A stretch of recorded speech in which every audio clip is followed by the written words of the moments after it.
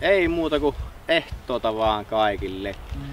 Aikaisemmin tehtiin tälle kanavalle se uistin vasta jiki jakso ja nyt päätettiin, että tehdään tämmönen uistin vasta jiki 2 tähän. Eli tosiaan ajatuksena tässä jaksossa on se, että toinen kalastaa tuolla jikillä kalastamalla ja sitten toinen heittelee uistinta. Ja tässä jaksossa siis meikäläinen kalastaa ihan perinteisellä, perinteisellä uistimilla sitten.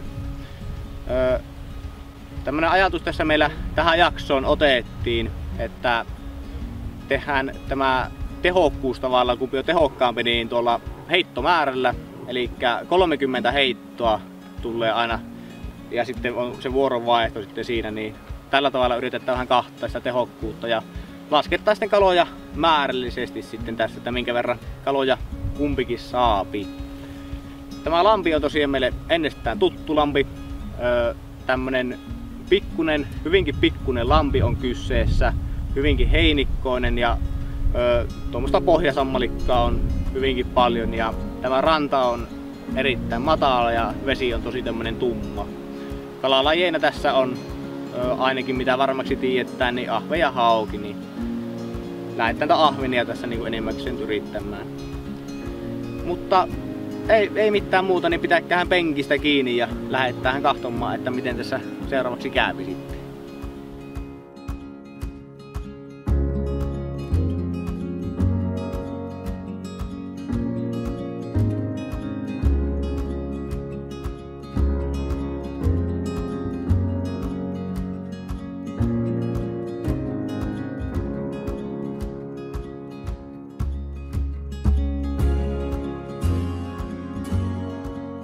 No niin, seuraavaksi tosiaan aloitetaan tämä kalastus tästä ja ihan lyhyesti mainittaan näistä välineistä sen verran, että vapaana itsessä on Jossino Sniperi 3-16 rammaa.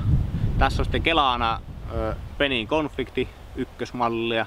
Kuitusiimana sitten on tuommoista 014 kuitusiimaa, Spiderwire. Ja, ö, tässä sitten haukivaran vuoksi on laitettu fluorokarbonipätkä. Tuommoinen puolen metrin pätkä suurin piirtein. Ja itsessään sitten uistimeen kun mennään, niin ö, uistimena on tämmönen ö, hyvinkin tumma, aika vanha lottolippa, niin lähdetään tämmöisellä tummalla liikkeelle kokeillaan sitten mahdollisesti vaiheella tätä, että voisi jotain värikkäämpää kokeilla jossain vaiheessa, niin aloitetaan tosiaan tästä tämä heittely seuraavaksi. No niin, tästäpä ensimmäinen heitto laitetta menemään. Tosiaan tässä on pitempi aika, kun ollaan viimeksi, viimeksi tässä käyty, että tosi vähän varmasti kalastajia kaikki kaikkien tässä lammella, ketä sitten käypi, niin on itsessään. Semmoisen huujaan kuitenkin kuultu, että isoja ahvenia tässä myöskin on mahdollista saa, että ihan kilosen huijakin kuulu, että semmoisen olisi käytetty ihan puntarilla asti. Itessään tässä kohdassa, mistä nyt aloitetaan, niin ei ole vielä niin itsessään se hyvä kohta, missä viimeksi oltiin. Että pikkusen kun mennään tuohon eteenpäin kohta puoliin tässä, kun ollaan heitelty, niin siinä oli niin kuin viime kerralla ne parhaat kohdat.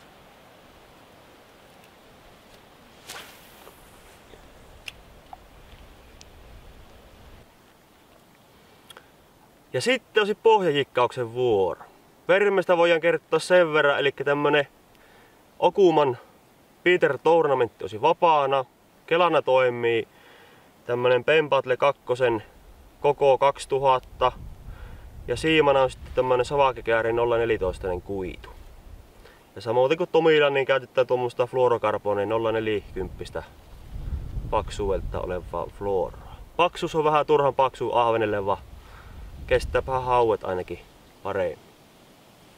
Ei siinä sen kummempaa, niin lähdetään rantaan ja katsotaan mikä jiki on tuolla siiman päässä ja aloitellaan heittele. No niin, eli tultiin tähän rantaan ja tässä pitäisi olla semmonen oletettu kohta, mistä pitäisi kalaa napata ja tosiaan siiman päähän laitettiin tuommoinen Mikado Fish jiki ja kuusrammanen pää on jikissä ja lähdetään tällä kokeilemaan, alkaako se kala tarttua siiman päähän. Semmonen. Semmonen homma ja ei siinä lähde tähän liikkeelle.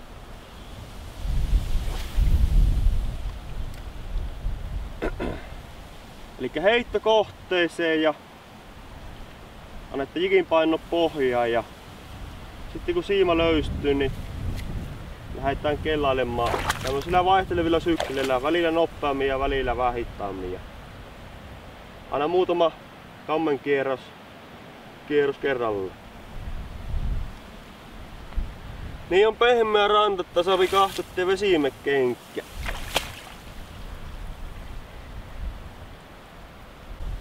Ja tämähän jikkaustyyli on niin monenlaista, että moni tykkää sitten tuossa aina kun jiki painuu pohjaan, niin vähän muutaman kerran nypytellä tuota vavaalla. Vavaalla tuota jikkeä, mutta sitä voi vielä kokeilla, minkälainen on kalaa syönti ja vähän aina sen mukaan. Yleensä tälleen kun veet on lämpimämmät, niin kala ottaa paremmin tuommoisen aktiivisempaa kellaukseen ja tyyliin. Että ei haittaa vaikka vähän on painavempi tuo jikipääkin. Että varsinkin keväällä kun on kylmät veet, niin silloin se kannattaa olla vähän semmonen passiivinen se uittotyyli. Ainakin oman kokemuksen mukaan. Oikeasta tyylistä en ole kyllä varma, mutta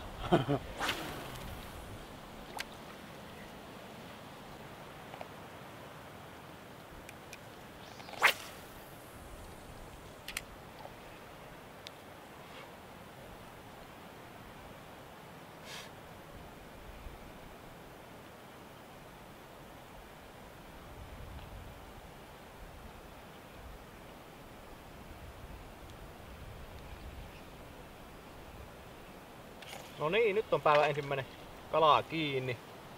Ja hyvän tuntunen ahve on varmasti tämä. Hyvän kokoista. On, on. Kyllä oskeni pullaa kala.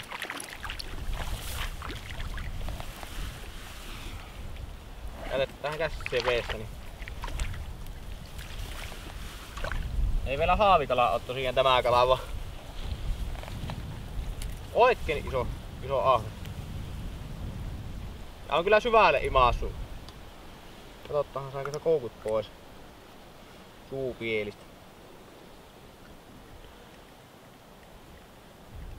Tästä kohdasta mahtoi olla toinen tai kolmas heitto, mikä heitin, niin sitten jypsähti.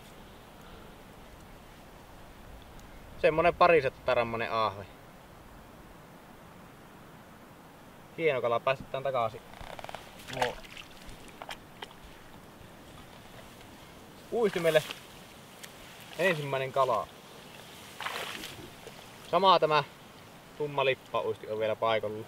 Ihan äsken tuossa rupesin ajattelemaan, että pitäisikö tuota kokeilla, että kirkkaampaa laittaa. Vaan onneksi ei vielä vaihtanut. Hyvin niin nopeasti sen kellauksen otti tuosta pinnasta.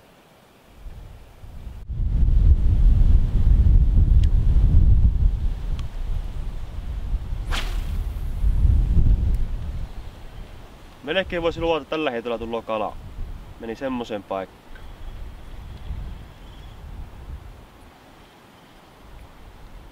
No niin, siellä oli kiinni, vaan irtosi. Nyt on kalaa kiinni. Tuo on muuten raskamman tuntunen.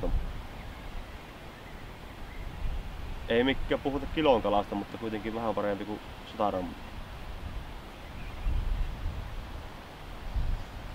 grammaa. Vähän vähän vettä.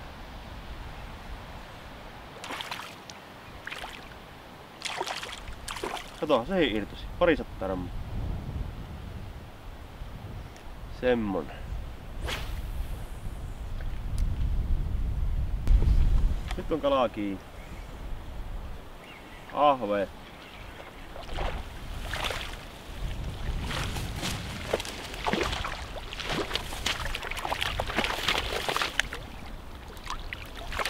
Taas näyttäisi ihan vaaraalta yksilöltä.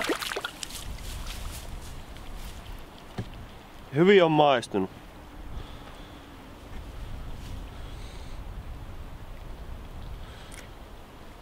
Noin lähti netisti irti. Semmonen. Kaksi puokki aika lähellä.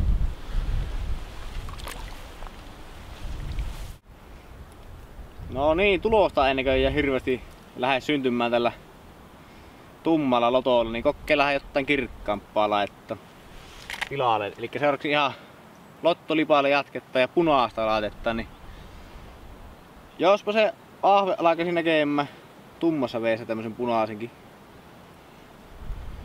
Punaisenkin lipaa. Kokeillahan tämmöistä pikkusta muutosta tehdään.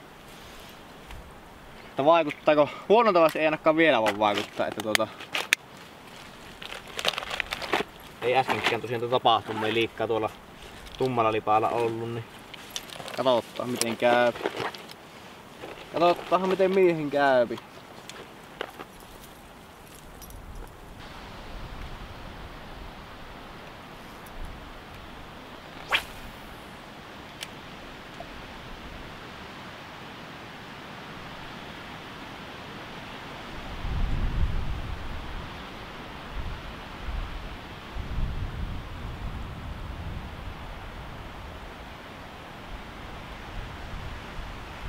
Niin, nyt on kalaa kiinni.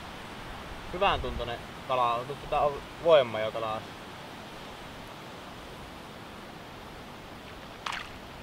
Semmonen 150 grammanen ainakin on ahve. Monta kertaa oli jo tuohonkin kohtaan heittänyt, niin ei napannut, vaan nyt se otti.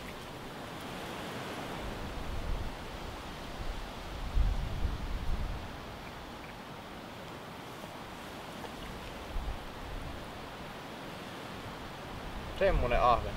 Näkyy, että ihan kuin hauki olisi purassut tuota peräpää. Sen näköinen jälki oli kyllä, että ei varmaan omme aikoja ollut tunni. Jonnin verran, että se kuitenkin tää haukkea on ja ilmeisesti ihan isojakin kaloja saattaa olla.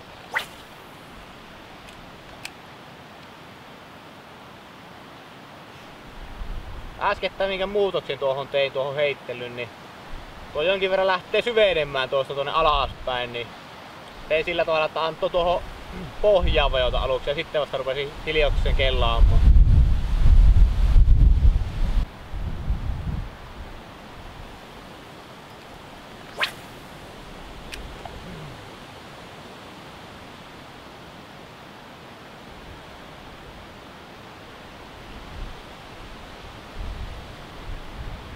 No niin, nyt on kiinni.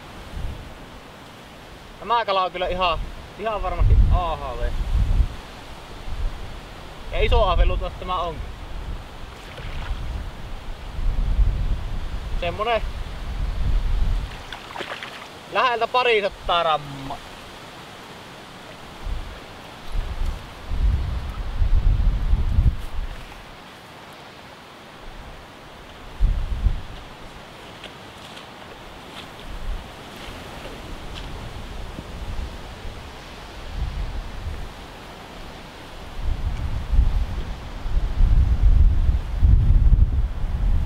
Semmonen parisataa rammanen ahve se on. Tosi hyvä keskikoko kyllä kaiken kaikkiaan, niin no ahvenet kolme kappaletta tällä hetkellä tullut ja tuommoista 200 rammasta se koko luokka, niin oikein niin viimeisen päälle kyllä koko luokka on kohilla. No nyt on kiinni. Ja on muuten, nyt on hyvän kokoinen ahve, nyt on iso ahve. Nyt on iso ahve. Semmonen nyt menee kyllä 300 rammaa tällä ahvenilla rikki. Nyt on komia körmä.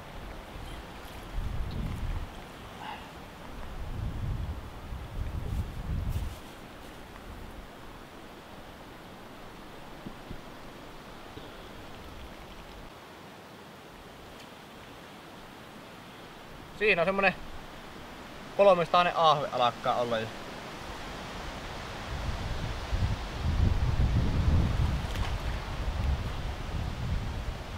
Kaikki kalat on tuota tästä kohdasta tullut samasta kohdasta ja tosi erikoinen, että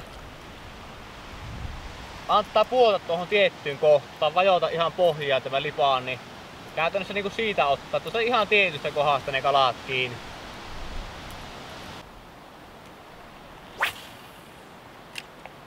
No niin, kokkeinapa siitä taas.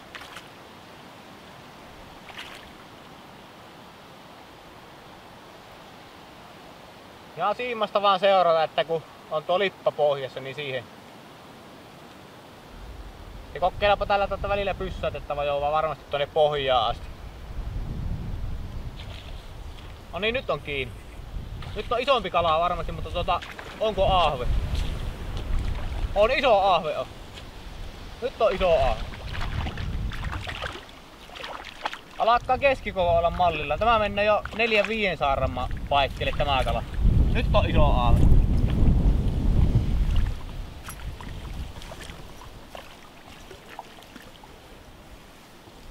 Oi, on kyllä, on kyllä viimeisen päälle körmy.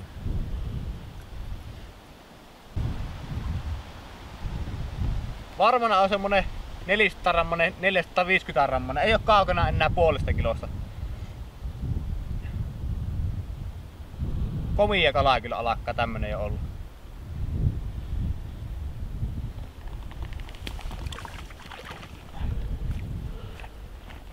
On kyllä tosiaan samasta kohdasta kaikki nuo kalat tullut. Ihan täsmälleen samasta kohdasta. Ja edelleenkin tekniikkana on se, että heitän tuohon ja anna ihan tuon lipaava jota pohjaa. Tuossa tulee semmonen tosi matala tämä ranta ja se lähtee siitä tippumaan alaspäin. Niin käytännössä kun se alas tippuu sinne pohjaan ja sitten siitä lähtee kellaamaan, niin huomaatte ne kalat ilmeisesti olisi ihan pohjan tuntumassa kiinni.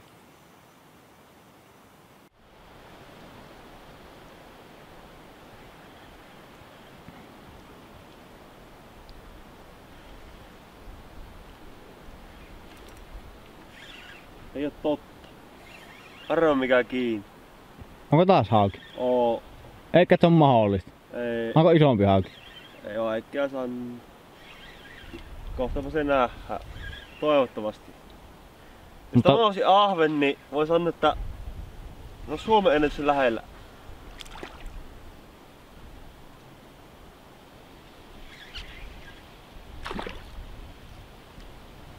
Joo, kyllä tämä pahasti hauelta näyttää. Valitettavasti.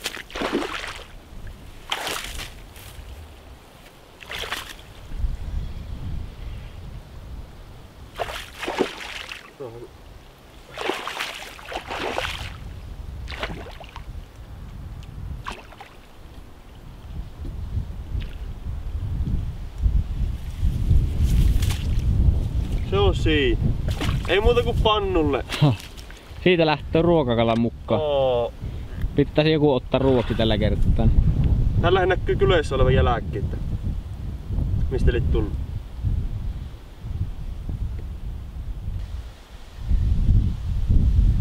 Näyttö irti sun on se kiinni. Koosta on vaikea sanoa mistä.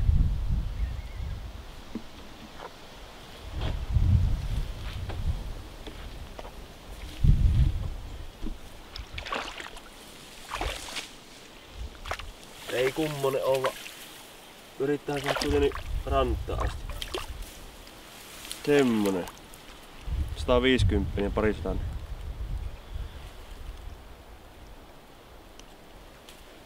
Semmonen.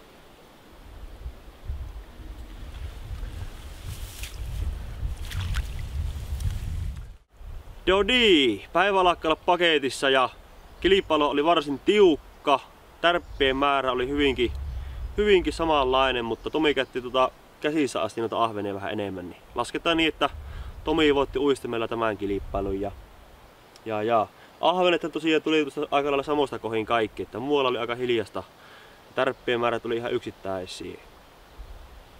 Ja ja, semmoista voidaan suositella kokemuksen perusteella, että jos tullaan pohjajikkaamaan tämmöiselle tuntemattomalle lammelle, niin melkein sitä dropshottia kannattaa kokeilla, niin ei ole tuo koukku aina ihan likainen. Ja kalastus on vähän tehokkaampi. Mutta eipä siinä, niin laittakaa tota kanava tiluuseen ja painakaa peukkoa, jos tykkäsitte videosta. Ja palauttaa ensi kerralla uuden videon parissa. Niin se on moro!